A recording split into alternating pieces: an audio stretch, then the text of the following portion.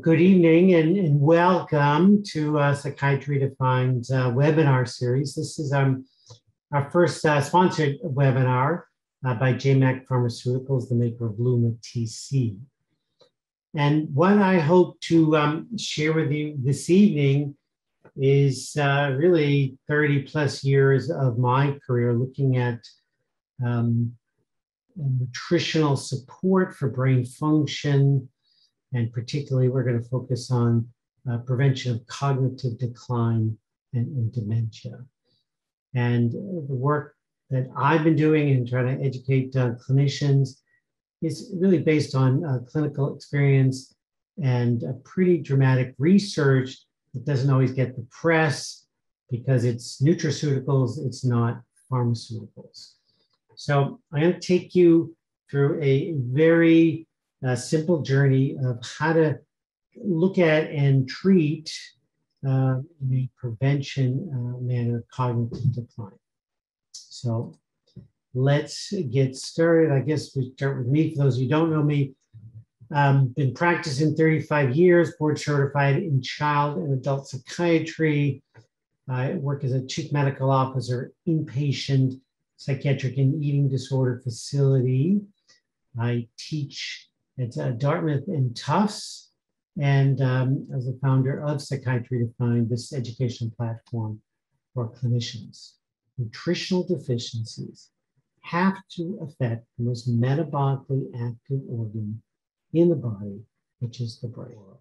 So it's a global crisis. The numbers are staggering, and not just the total numbers, but the rise in rates 152 million by 2050. So we should be concerned and we could try to figure this out. And so, what do we know? We know, and we've known this for many years, and now the neurological community and the psychiatric community and every geriatrician will utilize these words that Alzheimer's or dementia is a progression over decades, 20, 30 years.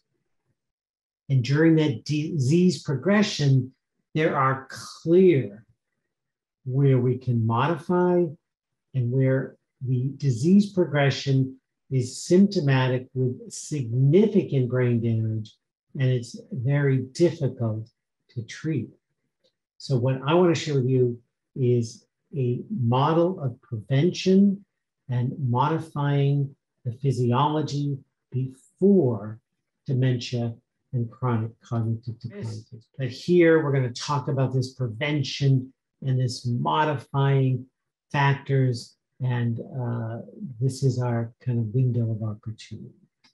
So let's get going. For anybody who knows my work, for over 30 years now, I've been talking about lithium from micrograms to high doses um, for bipolar, but lithium has profound implications for many psychiatric illnesses, but for the prevention of Alzheimer's, it, it appears to me to be uh, indisputable. And here's kind of a, a schematic I've used uh, for many years. For those of you who use lithium as a pharmaceutical, 600 to 2,000 milligrams at high doses, lithium is toxic to the heart, to the brain, and it can be life threatening at, at high amounts.